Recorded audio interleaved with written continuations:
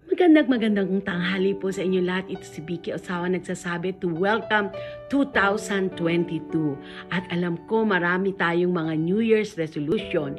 At syempre, ako naman po ang New Year's resolution ko ay nako, natupad po dahil magkakaroon po kami ng serbisyo hanggang alas 4 ng madaling araw ng umaga.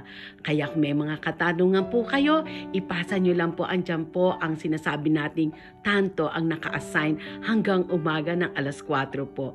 So stay tuned lang po kayo. Yan ang unang naging wish po ng inyong lingkod para sa mag-usap tayo, makapagbigay ng mga sagot sa mga katanungan sa abot po ng aming makakaya.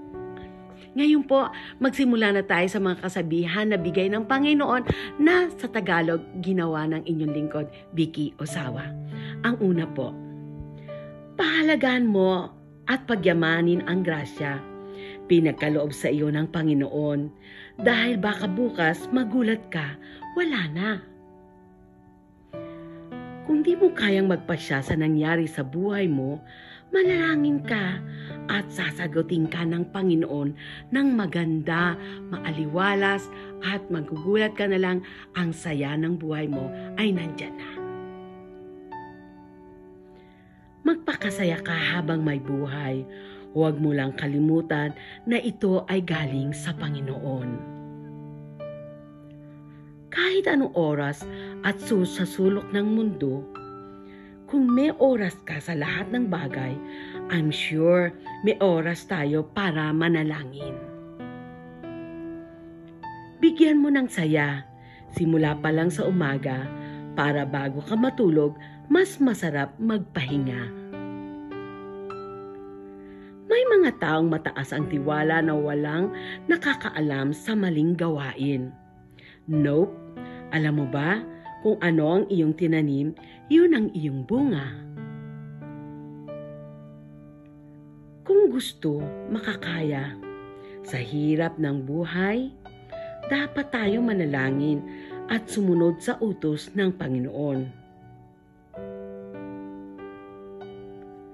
Hindi mo makita kaagad ang ganda ng buhay. Okay lang for now. Basta lagi mong tandaan, nakigad ang awa nasa tao ang gawa.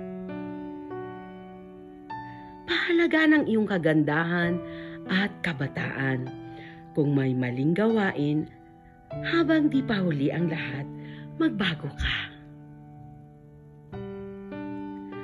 Huwag mawiling magpakasaya sa gadget. Hindi yan ang totoong magmamahal sa iyo kung ikaw ay nasa peligro ng buhay.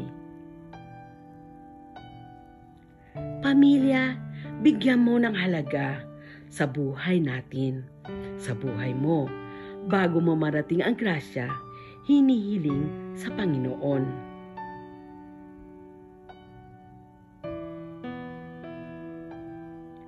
Hindi mahirap mag-isip basta malinis ang iyong intensyon. Ang isip ay madaling manghina at mapagod pag lagi mong ginagamit sa negatibong pag-iisip. Walang masamang magtampo, tao lang po. Kung ang pagtatampo ay bad effect sa life, better not. Everything is just passing by. Kung gusto mong malaman ang masayang buhay, bilangin sa additional, huwag sa minus. Huwag mabulag sa taas ng yaman at posisyon sa buhay. Umiikot lang ang mundo.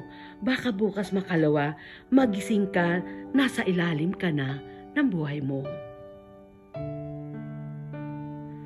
Ang isip ay nakakapag-isip ng tama o mali, dapat turuan din natin ang puso natin pag maling pag-ibig.